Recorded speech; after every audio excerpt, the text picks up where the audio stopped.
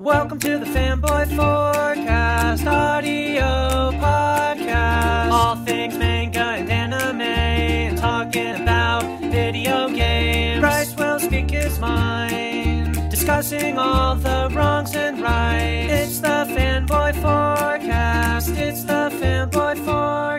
Hello and welcome to episode 60 of the Fanboy Forecast. I'm your host, Bryce Wyatt, and today I want to talk about the first season of an ongoing episodic adventure game, The Last Door. Be careful, dear listeners. This one is spooky. I should probably get this out first. I have little to no affection for most old school point and click adventure series. I respect them, but I do not like them. The combining this thing with another thing and figuring out where to put it just drives me away from all those games. For me, it interrupts any real good plot flow real quickly. My main problem with the solutions to these puzzles is that they don't always make logical sense, and I'm a logic driven person in a lot of ways. However, The Last Door is a horror point and click adventure game that I really loved, and only found out about by chance. It's easily my favorite game in this genre, mostly because the game did a great job of making the steps needed to progress the plot make logical sense to me, as well as never presenting me, the player, with many options to try. Thus, the plot flowed really well, and what a plot it was. Set in Victorian London, the story starts when Jeremiah DeWitt receives a letter from his old schoolmate Anthony Beechwood, which is both cryptic and unsettling to DeWitt, and he decides to go investigate. His investigation of an old manor leads him to start to uncover secrets from his childhood, where him and his schoolmates decide to explore a forbidden phenomena known as the Veil. The story holds a lot of mystery and questions that you, as DeWitt, will have to investigate and try to solve the forces that threaten him and his former schoolmates. Besides its overall creepy plot, the last door will keep you on edge throughout the whole game, never knowing what might happen next as DeWitt continues to delve deeper into the mystery of the Veil and his own past. There's plenty of unsettling imagery and characters that you will meet, including religious zealots punishing themselves for their sins, to bedridden patients in so much pain they just want it to end. Also, there's some really, really effective jump scares. Never overused, a couple of these got me real good. The music and sound design also goes a long way in setting the mood. Because it's funny, there isn't a lost state or enemies to fight, yet I still find myself bracing every time I move screens to a new scene. The ability to set such a great atmosphere and successfully scare me multiple times is extremely impressive when you take the look of the game into account. The game has a retro pixel look to it and it's very low on details, but still enough to make me reel a bit from looking at crows viciously feeding on some bloody carcass. It actually does a good job of including enough detail to understand what you are seeing at all times, but not too much detail to revolt me. I will say though, the lack of detail on the characters is a bit problematic when it comes to identifying who is who within the story. There are not a lot of characters within an episode, so it's not a huge issue. That said, I do not think this game would benefit with high resolution characters, so I suppose I prefer it as it is. I just really like the look. Gameplay wise, this is still a point and click adventure game. You will collect items as you go and use them at the correct times or combine them to progress the story. However, as I said, there's not many options on the items which can be interacted with, and they're very easy to find within each scene. Also, the items tend to make logical sense. I would find something impeding my progress and can easily guess what I need to find to move forward, and I was usually right. I have to be honest though, I did get stuck here and there where it took me longer than I would have liked to figure out the next step, but it was never that long and only really once per episode usually. Because of all this, the flow of the game remains at a good pace. Also, the game offers you the chance to move through scenes quickly, providing you have been to the scene you are transitioning to before. The game does make good use of point and click mechanics with these little mini scenes that happen usually at the beginning of episodes,